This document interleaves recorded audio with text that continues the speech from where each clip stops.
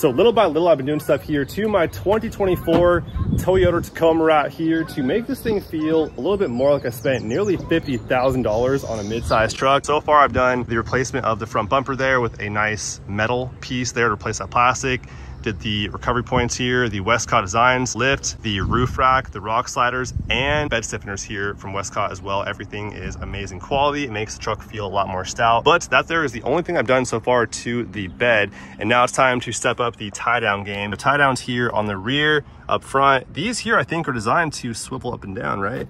But they don't really do that too well. And then you have these plastic baby Yodas right here, um, which I wouldn't really trust with anything uh, super important there. I'm back again with another Charvonia Designs upgrade on the tie downs. This time went with the silver. Dude, check these things out. So if you guys remember, uh, last time I upgraded my tie downs in my bed was on the Tundra and I went red anodized. And this time I went with the silver one. So check these out right here are replacing these plastic tie downs here on the rails.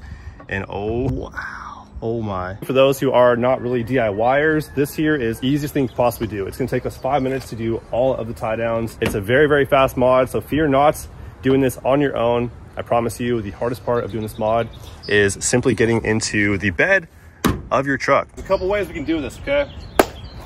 Butt first. Or if y'all got hops, maybe stomach first. Don't try that. Don't do that. Nope.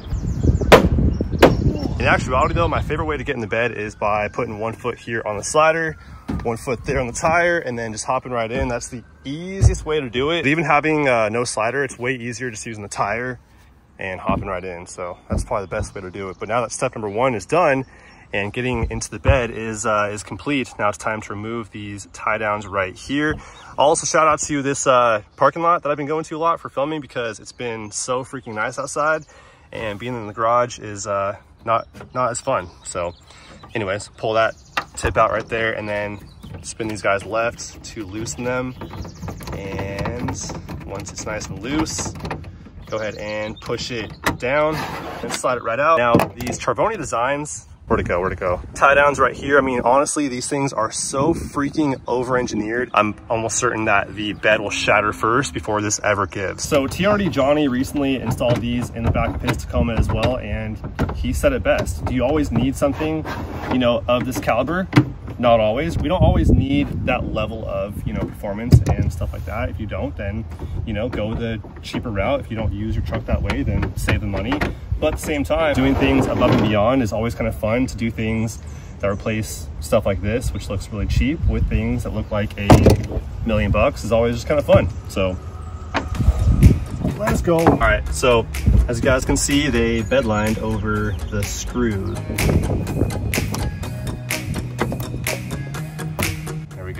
Tie down is out. So the tie down right by the tailgate is also a T30. Add that to the tie down graveyard. Kind of nostalgic actually because back in the day before I had a garage to work in, I'd either uh, borrow friends' shops or I would um, like go to uh, businesses that were closed on the weekends and use their parking lot for installs. And half the time too, I'd, I'd get kicked out and have to go find another one and try to like transition the, the clips together like seamlessly.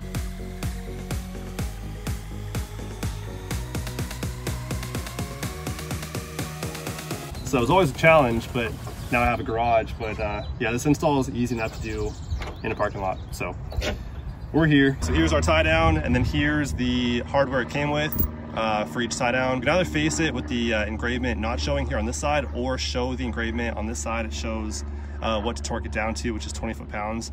And um, then it has the Charvonia Designs uh, logo right there. So I'm gonna show mine off and have it facing this way so we can see it. I'm gonna feed the hardware through first. No washers, nothing at all like that. It just comes with the straight hardware. Line it up with the holes. I'm gonna hand tight it for now and then get it home. I left my torque wrench at home and then I'll torque it down to the 20 foot pounds.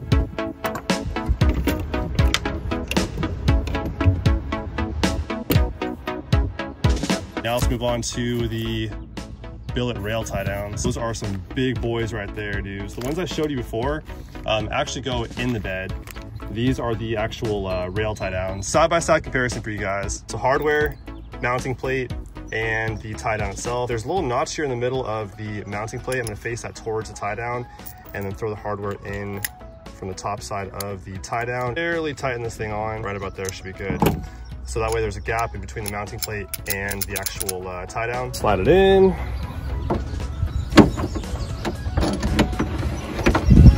You guys are gonna see is it kind of locks into, there's grooves in here, right? You got a groove there and they're pretty they're pretty often. There's one here, one here, all down the rail. So you can kind of choose where you want to lock it into. So the groove right there, it locks it right into place. Now that I have it in the groove where I want it, I'm gonna tighten it down and torque it to spec. And it's pretty much all there is gonna be to that right there. Okay.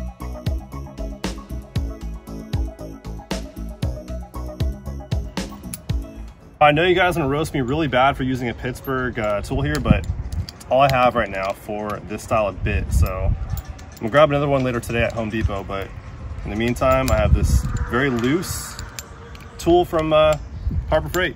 So go ahead and comment down below all you want. I'm here for it.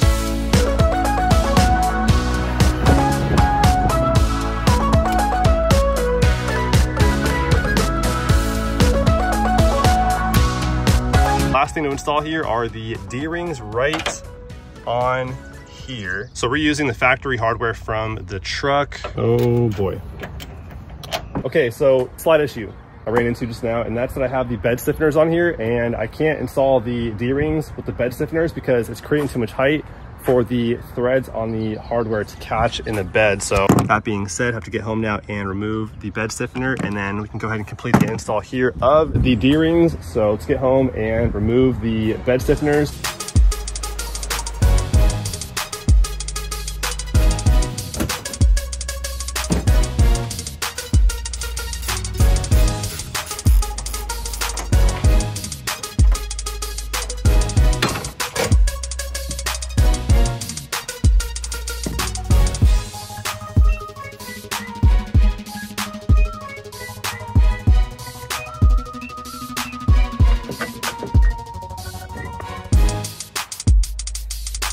All right, guys, it is the next day and everything is all good to go in the bed here. Check out these D-rings. They swivel real nice too. Lock them down into place. Cruise over here and check out the bed rail. Thing is looking, looking right. And then down there in the bed, dude, these things look so freaking good in the silver finish. Come in a few different colors. You can get the blue, you can get red anodized, uh, or red texture, black anodized, black texture. Um, and then the silver ones here, which I think look freaking sick. I think the silver just looks like straight jewelry. That's gotta be their, their like most in demand one for sure. It looks so freaking sleek. But let's pull up to the garage here and throw something in here and try them out.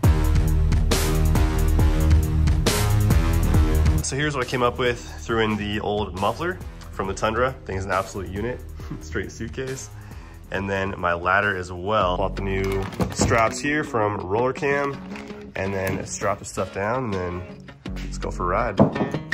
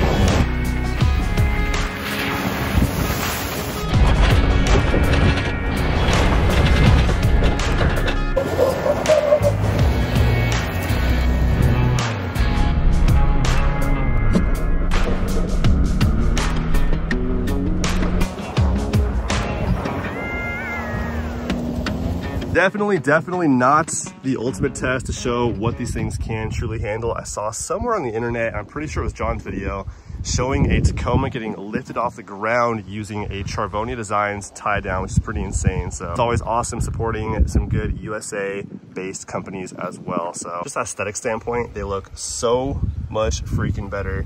And of course the D-hooks back there also function a lot better than the OEM ones, which didn't really want to move. But also too, how these things are designed. So you have this opening here, you can run a hook through those, which I did down here. Um, or you can run it through uh, the larger opening here, OEM ones. They're, they're very, very, very narrow. And the problem with that is when you run your rope through it, your strap, your hook, whatever, it puts a lot more of the force in one very small area, which will end up, you know, breaking down whatever it is running through it a lot faster than dispersing all that uh, all that tension through a wider part. And then behind it, you guys can see how they rounded off the edge there on the backside. It's not going to slice through whatever it is running through there. Gosh dang, dude, these things look so freaking good. And back here, man, huge upgrade on the D-hooks compared to what they came, the truck came with. That's so much better, and they swivel real nice as well. Not the best tie down job, but you know, it's uh, it's all good. not a serious load, not the ultimate test of what these things could uh, could endure. That's pretty much it. That There is a wrap. So hopefully you guys enjoyed. That's all I have for you guys for today, though. I'll see you guys on the next one very soon. Until next time, peace.